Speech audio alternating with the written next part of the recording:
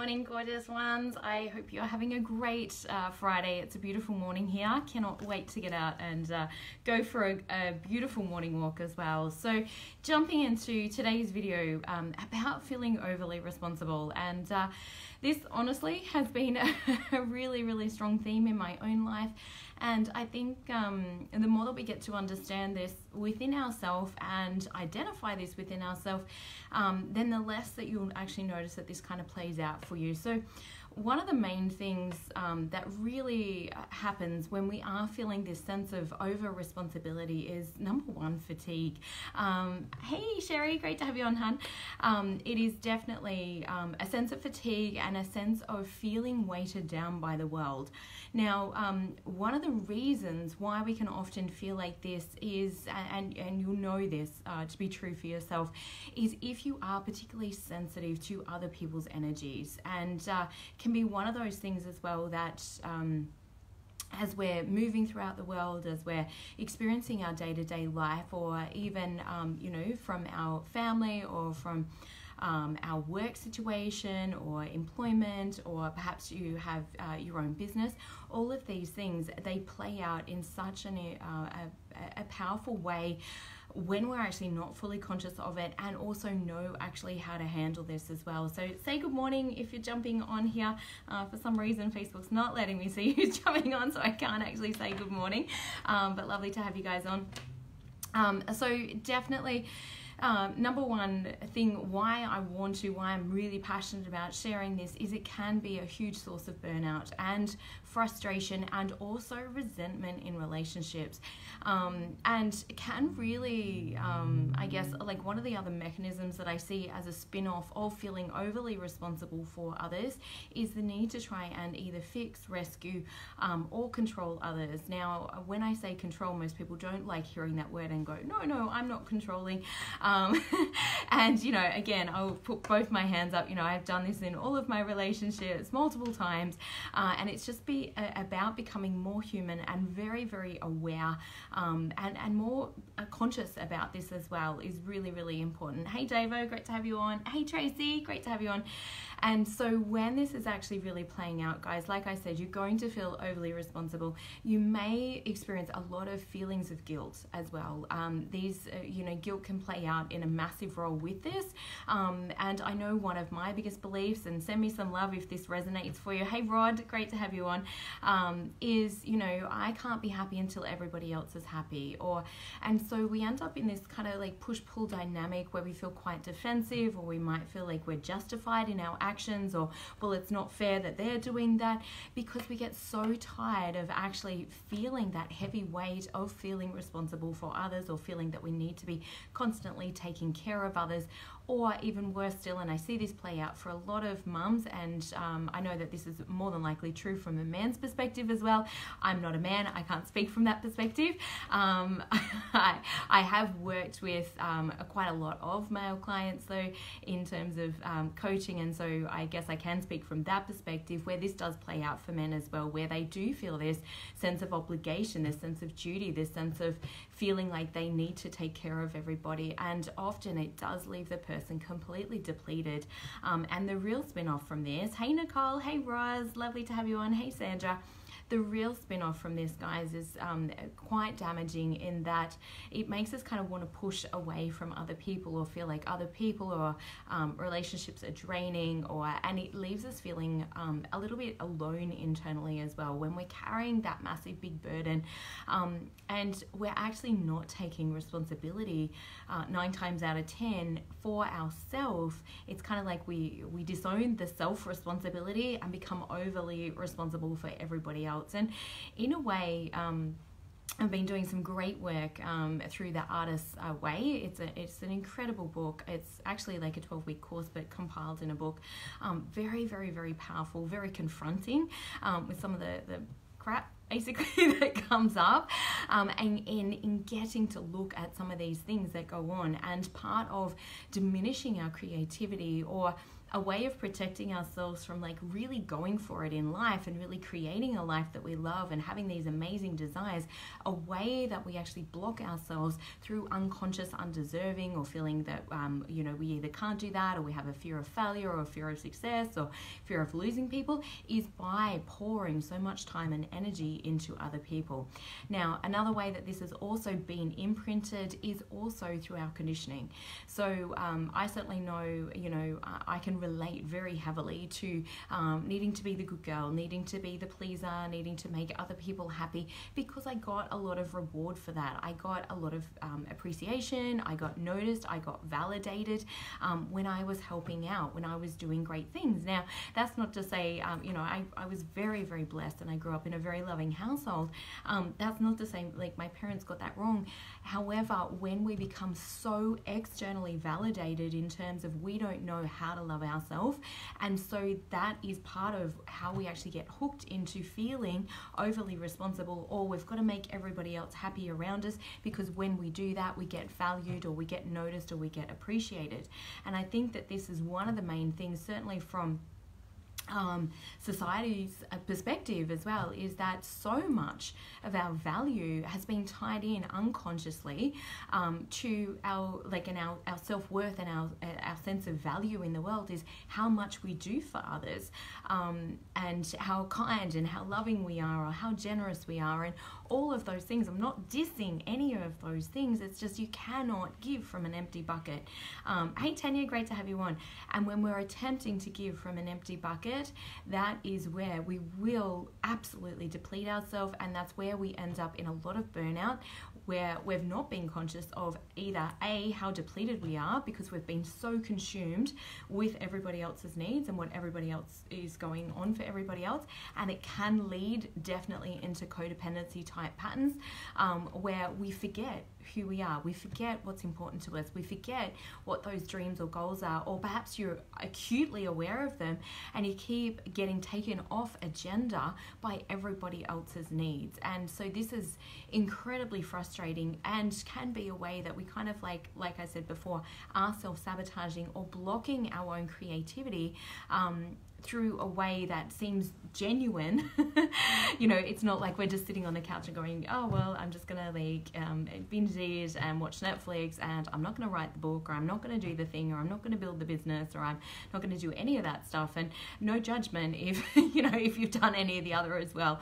Um, I, I know what it's like to experience some of those creative blocks or perhaps some of those deeper fears that can come up.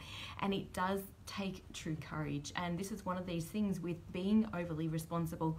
Um, we are creating our life all the time. And if you've got a lot of people that are depending on you, personally um, and uh, i talk a lot about this in like the quadrants if you haven't checked out the four quadrants by uh, stephen covey he talks a lot about that in quadrant three quadrant three is um, when other people's emergencies become our urgencies. And that's where, you know, we might have uh, the girlfriend that phones us up at the last second and says, Oh, I haven't organized a sitter. Can you have the kids for me?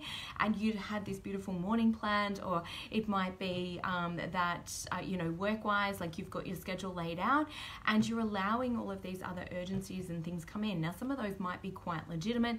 Um, I always used to have a rule with my kids come and speak to me if you're bleeding a lot.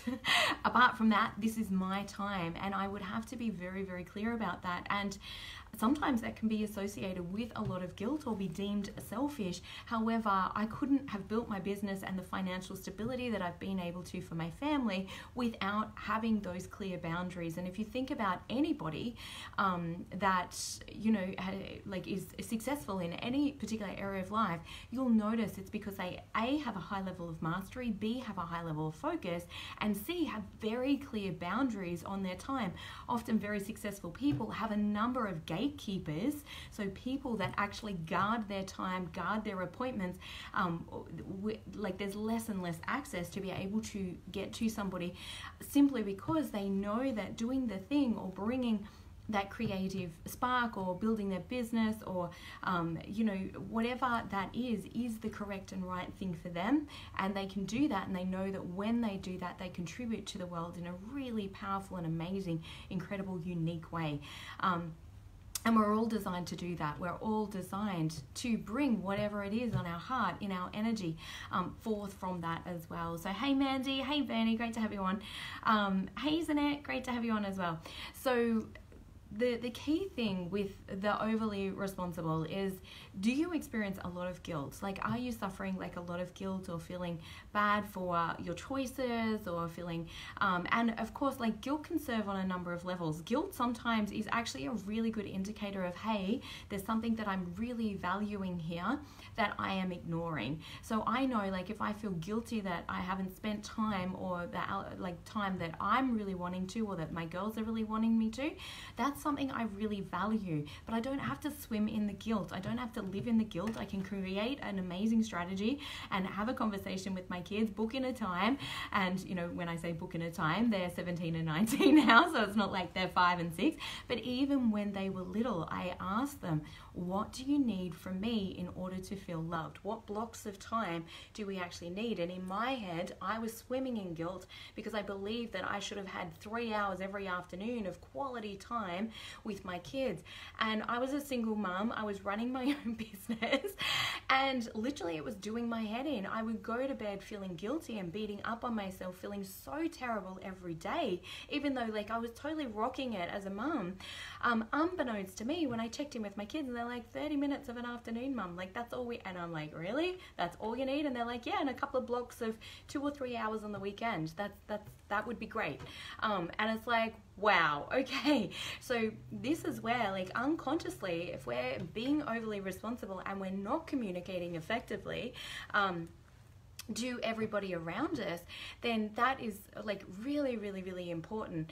Um, and will again, you know, it comes back to this ability to be able to communicate effectively. Hey, Marty. Hey, Laura. Hey, Diane. Great to have you on. Hey, Chris. Lovely to see you guys on here. Um, so really understanding how this actually plays out for you. For me, I get like this it's a really weird sensation. Um, I get a cloudy head um, when I'm feeling guilty or feeling um, ashamed or um, a sense of shame or feeling um, just this like this weighted heaviness of feeling overly responsible for others. Now, like I said, if you are overly sensitive, if you are empathic um, or relate to or resonate with, you know, the word um, empathy, um, in terms of you have a strong sense of what other people are feeling around you, you will be more inclined to do this very subconsciously or perhaps automatically um, without actually even having awareness of it. And it's, like I said, it can be subtle at times um, where you find yourself feeling bad for making a great choice for yourself.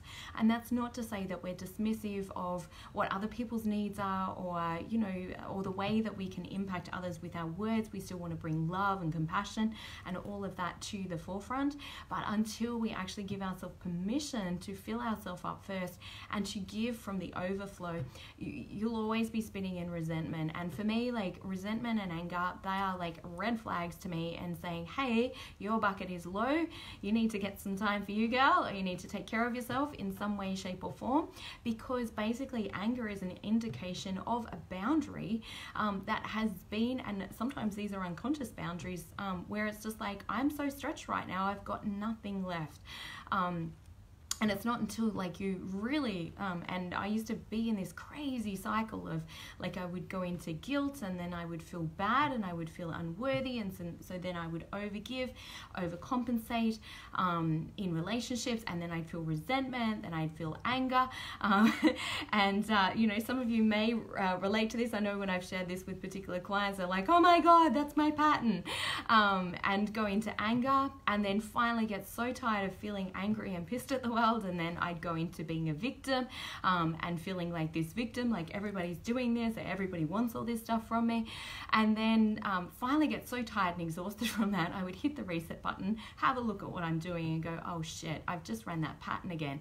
Um, and actually then take time to replenish. Now, I have great conscious awareness around this pattern now, and I actually literally had it written across my bathroom mirror because I was living it on on such a regular in such a regular way, and it was really like painful and horrible um, and wasn't supportive of any relationships either. Um, sorry, I'm getting lots of messages coming through. so, um, one of the ways to really exit out of this is just to notice, oh shit, I'm in that pattern, and be able to make a new conscious choice. What do I need to do in order to free myself or resolve this now? Um, so simple and easy. Like you get to exit the pattern at any point as well. Um, but one of the key things, like particularly with this overly responsible thing, um, is understanding what are the underlying beliefs that are actually holding this pattern in place. And often we've taken those things in uh, through imprinting, through conditioning conditioning through our parents. Um, as a young child, remember from zero to seven, um, we receive all of those messages very hypnotically um, and can be really, really challenging for us, um, you know, when we're taking that in as well. And um, because we don't have an analytical mind. It's not until eight or nine where we start to analyze what people are saying to us and is that correct for us? Is that okay? And by then, generally, we've become so associated with believing the truth of everybody else around us, and often they've been imprinted and conditioned by their parents. Like it's generational and lineage stuff as well that kind of plays through and comes through on this level. Um, so, one of the greatest things is definitely understanding hey, how is this playing out for me? How am I actually feeling in my body? Do I feel burdened? Do I feel weighed down? And um, quite often when I'm working with people, hey Jay, it's great to have you on. Um, quite often when I'm working with people, you know, I'll get this sensation or I'll get this visual image of literally, you know, they're carrying all of these sleepers because they believe that they're overly responsible or that they need to be taking care of everybody else first. Um, and it's actually draining their life force energy. It's actually draining um, the energy that they have to repair, to rejuvenate, to restore themselves, um, to feel good about life, to be able to bring their goals and dreams into fruition. And guys, honestly, it is a downward, downward spiral. And it's one of the key things that I address in my new program um, that I've just uh, launched recently, which I'm really excited about, which is called Thrive.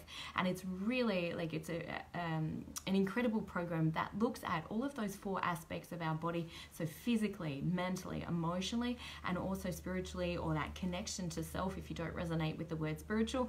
Um, but it really is that deeper connection to self and what do I want? Who am I? What's important to me? Um, because if you are particularly open in your energy, meaning you take in other people's energy, you feel other people's energy very, very strongly, and you're overly sensitive, um, or I don't like to use that word. I, I felt like I got told that I was overly sensitive as a child. It's now my greatest gift when I work with people. Um, you know, you're too sensitive, or don't take that so so seriously. And it's just like it's hard not to when you are sensitive, right? You're sensitive to everything, like your environment, who you're with, what their energy's like, um, even, you know, different foods and things like that. So, um, but if you do feel that you are extra sensitive or that you've got some of that going on, please message me, send me um, a message. Let's have a conversation um, because it's so, so, so important. When this plays out for a lifetime, guys, um, it often leaves us feeling very, very unfulfilled. Um, we don't have satisfying relationships, meaning, you know, the relationships are one sided, they're not mutually beneficial or they're not synergistic. Sometimes a relationship can be truly um, synergistic, even though it appears very one sided, and that might be somebody that's um, in a wheelchair and they have a partner that's the full-time carer. Now that would appear that that um, the full-time carer is you know giving a lot more. However, that might light their heart up. That might feel like absolutely their joy and what's correct for them and what's right for them. However, if it's somebody else that's doing it out of obligation um, or feeling, you know, this sense of duty or they have to or they need to or they should, again, that is not going to be a synergistic relationship and um, will lead generally a lot of these resentments and anger um, ends up causing a such a strong feeling of sense of separation. They create a lot of incoherence in the body in the physical energy of the body and cause a lot of inflammation in raised cortisol levels. When there's inflammation in the body um, a lot of the the big diseases. So, your top three diseases, whether it's cardiovascular, cancer, osteoporosis, diabetes, obesity, all of those things get driven up certainly um, just through the energetic way that we're actually experiencing life because when you're experiencing those like that that emotion of stress or that emotion of resentment or that emotion of anger um, it will be impacting your health because biologically biochemically your body is responding to that and it's sending out all of these stress signals saying, oh my God, we're in fight flight now, um, we're not going to survive. And it feels like this ongoing sense of survival for a long time. And if ever you've been, you know, you've had a couple of um, babies, like if you're women, you know, um, quite quickly, like in terms of, you know, um, two or three years. I've never had the experience of having children further apart in terms of like five year gaps or anything like that.